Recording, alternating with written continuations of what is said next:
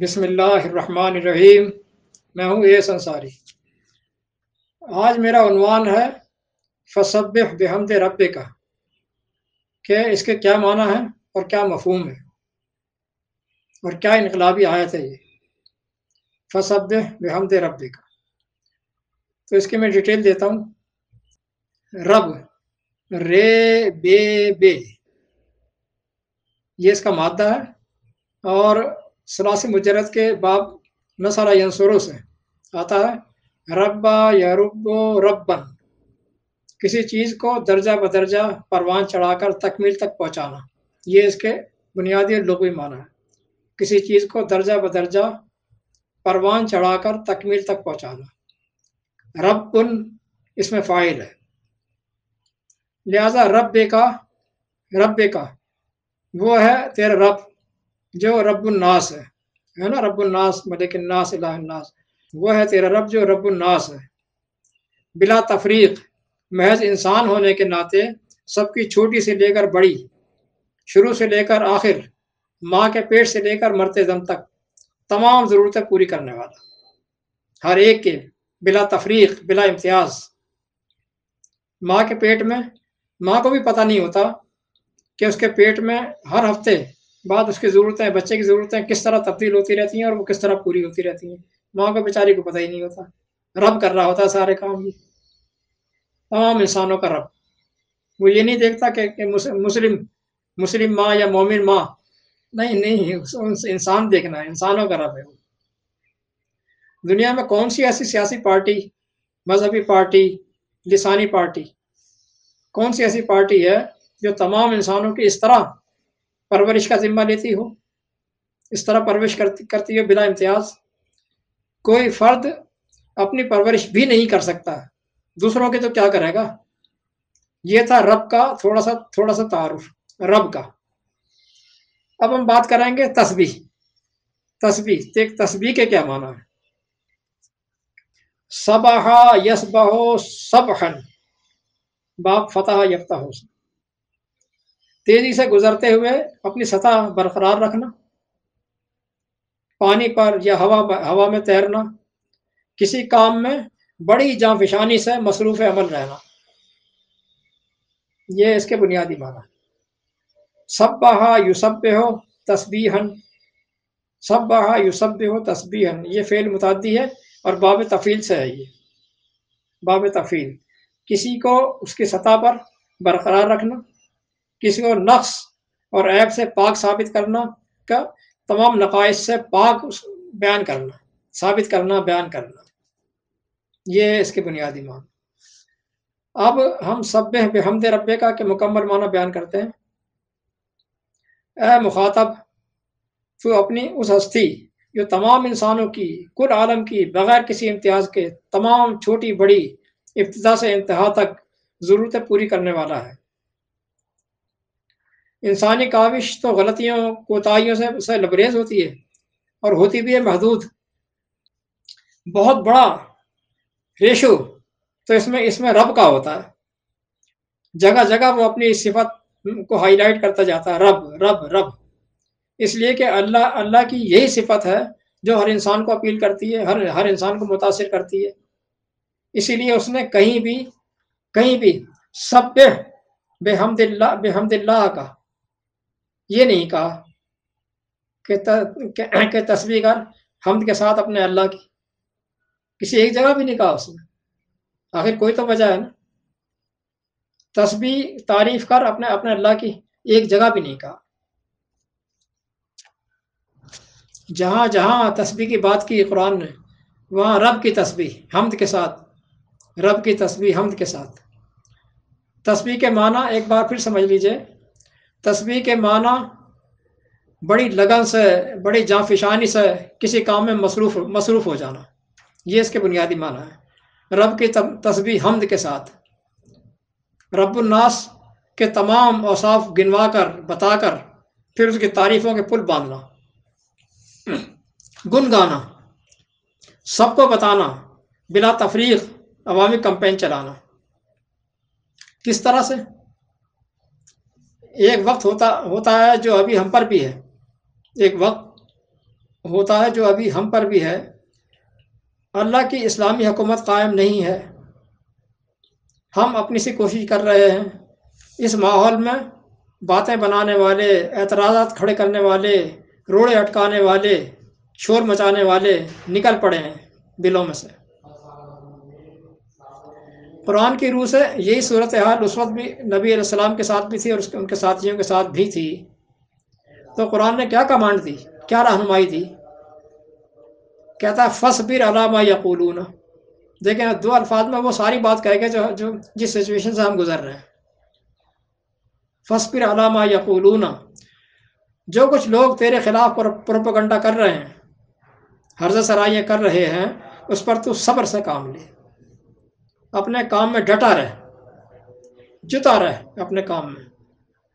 اس طرح اس طرح، کس طرح؟ اس طرح۔ وصب بحمد رب کا قبل طلوع الشمس و قبل الغروب ومن اللیل فصب ہو ادبار سجود fifty over thirty nine and forty اے مخاطب، تو اپنی اس ہستی کی جو بلا امتیاز رنگ و نسل، مذہب تمام انسانوں کی بنیادی ضرورتیں پوری کرنے والا رب ہے۔ چھوٹی سی لے کر بڑی تک، ابتدا سے لے کر انتہا تک، بغیر معاوضہ صرف کیے اس بنا پر، صرف اس بنا پر کہ وہ تمہارا رب ہے۔ ضرورتیں پوری کر رہا ہے، صرف اس بنا پر کہ وہ تمہارا رب ہے اور تم اس کے مخلوق ہو، تم اس کے بندے ہو۔ وہ پوری کر رہا ہے۔ یہ کمپین چلا عوام میں، طلوع آفتاب سے پہلے بھی۔ پھر شروع شروع کرو، یہ یہ صبح کی کمپین۔ یہ طلوع آفتاب سے پہلے بھی شروع کر دو۔ یہ یہ کمپین۔ اور شام کو غروب ہونے سے پہلے بھی۔ یہ صبح کی ہو گئی، شام کی ہو گئی۔ پہلے بھی۔ اور رات میں بھی۔ بس یہ کمپین چلاتا رہے۔ فصب بے ہو ہر دم چلاتا رہے۔ پھر آگے وہ ادبار سجود۔ وہ ادبار سجود۔ اور سجود کے بعد بھی۔ اب یہ بھی سمجھ لیں کہ یہ کیا کیا کہا اللہ تعالیٰ نے۔ اور سجود کے بعد بھی۔ یہ سمجھو کیا کہا۔ سنیں اور سمجھیں۔ وَإِذَا قُرِيَ عَلَيْهِمُ الْقُرْآنُ لَا يَسْجُدُونَ بَلِ الَّذِينَ كَفَرُوا يُكَذِّبُونَ۔ 84 over 21 22 کہتا ہے، اور جب ان پر قرآن پڑھا جاتا ہے تو سجدہ نہیں کرتے، بلکہ یہ کافی لوگ اسے جھٹلاتے ہیں۔ کیا مطلب ہوا؟ گویا کہ مومن نہیں جھٹلاتے کافی لوگ جھٹلاتے ہیں، مومن نہیں جھٹلاتے اور اس نہ جھٹلانے کو ہی سجدہ کرنا کہا ہے، بلکہ سجدہ کرتے ہیں۔ قرآن سے نصیحتیں کرنا، قرآن سے نصیحت کرنا، یہ یہ سیشن یہ سیشن چلانا۔ قرآن سے نصیحتوں کا سیشن چلانا۔ اس سیشن میں مومنین اس کو سر تسلیم خم کریں گے، یہ ہوگا ان کا سجدہ۔ لہٰذا یہ سیشن ختم ہونے کے بعد بھی یہ سیشن چلا، قرآن کا، سمجھ لیا سر تسلیم خم کر دیا، مان لیا۔ اب پھر وہی کمپین پھر وہی۔ وہ تو چھوٹا نہیں۔ ہے لہذا آیت میں لفظ ادبار سجود کا مطلب ہے کہ ایک کمپین تو عوامی چلانی ہے۔ وہ تو پتہ ہے آپ کو۔ فصب بے حمد کا۔ سب بے حمد کا والی، یہ والی۔ اور ایک سیشن قرآن تعلیم کا بھی چلانا ہے۔ جس میں بالغ النظر اول الباب مدبرین کی شمولیت ہوگی۔ یہ میں بار بار بتا رہا ہوں کہ کہ ایک واضح نصیحت کرنا پڑے گا جس سے مومنین تیار کرنے ہیں اور ایک عوامی پبلک کمپین چلانی پڑے گی۔ مومن مومنین کی شمولیت ہوگی تاکہ ایک ٹیم مومنین صالحین کی بھی تیار کی جائے۔ حکومت کے پلرز مومنین ہی بنتے ہیں، عوام نہیں۔ عوام یعنی مسلمین۔ صرف صرف سپورٹر ہوتے ہیں سپورٹرز ان سے زیادہ توقع نہیں کی جا سکتی وہ صرف سپورٹرز ہیں۔ ان کو آپ ووٹر بھی کہہ سکتے ہیں ووٹرز بھی کہہ سکتے ہیں۔ ووٹ کسی پارٹی کسی لیڈر کسی دستور، کسی منشور کے لیے نہیں۔ ووٹ اللہ کے لیے، اللہ کی حکومت قائم کرنے کے لیے۔ یہ ووٹ چلے گا۔ اور یہ کام مبلغین کا ہے کہ وہ عوام کو تصویر کے دونوں رخ دکھائیں۔ دونوں رخ۔ بھانت بھانت کی پارٹیوں اور طرح طرح کے کینڈیڈیٹس کی حکومتوں اور ان کے بارے میں بھی بتائیں کہ دیکھو وہ کیا کرتی ہیں۔ اور رب الناس کی حکومت کا بھی بتائیں کہ رب الناس کی حکومت کیا کیا کیا ہوتی ہے۔ دونوں کو کمپیئر کر کے بتائیں۔ کمپیئر کر کے۔ کمپیریزن سے دونوں دونوں پہلو سامنے آتے ہیں۔ دونوں پہلو سامنے آنے چاہیے۔ یہ تبلیغ کا مینر ہے۔ دیکھیں آپ نے دیکھا نا قرآن میں مبشرین و منظرین بشیر و نذیر۔ کیا مطلب ہے اس کا؟ بشیر بھی، نذیر بھی۔ پازیٹیو پہلو دکھانا بھی اور نیگیٹو پہلو دکھانا بھی۔ نیگیٹو پہلو سے ڈرانا بھی۔ یہ یہ پیئر ہے تبلیغ کا۔ بشیر و نذیر۔ مبشرین و منظرین خوشخبریاں بھی سنانا اور اور اور غلط چیزوں سے سے آگاہ بھی کرنا وارن بھی کرنا۔ تنظیر بھی کرنا۔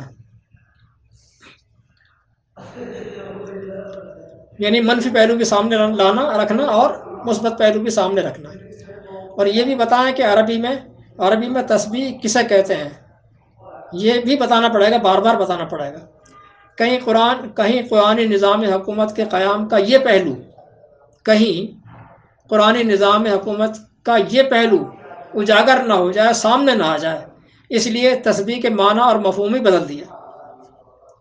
جگہ جگہ یہ کام کرتے ہیں۔ یہ یہ ہوشیار لوگ۔ مفہوم ہی بدل دیا۔ اب لوگ تسبیح اس موتیوں کی مالا کو سمجھتے ہیں، جسے، جس کے دانے پھیر پھیر کر جاپ کیا جاتا ہے۔ مالا جپنا۔ رام رام جپنا پر آیا مال اپنا۔ خلاصہ یہ ہے کہ اب قرآنسٹس، میں ان سے گزارش کرتا ہوں۔ قرآنسٹس کو چاہیے کہ بہت چونچے لڑائی بہت آپس میں لڑ لی جھگڑ لیے، چھوٹی چھوٹی باتوں پر۔ اب اللہ کے لیے کچھ کام بھی کرو، کر لو۔ قرآن کی گہرائیوں کو اگر اگر نہیں سمجھتے ہو تو کوئی مسئلہ نہیں ہے۔ یہ کام بعد میں بھی ہو جائے گا۔ یہ اس کام کو اٹھا رکھو۔ بات کے لیے، اور ابھی ابھی ان لوگوں کو کرنے دو جو جو قرآن قرآن کو سمجھتے ہیں گہرائی سے۔ وہ وہ چلا چلا لیں چلا لیں گے قرآن سیشن۔ جو اسے باریکی سے سمجھتے ہیں۔ تم اپنے حصہ کا کام کر لو کہ قرآن نظام حکومت یعنی دین اسلام، رب کی حکومت کا پرچار کرنے کا بیڑا اٹھا لو۔ سب بحمد رب کا۔ یہ والا کام سنبھال لو۔ اللہ آپ سے، ہم سے سب سے راضی ہو ہماری خطائیں معاف فرمائے۔ وسلام۔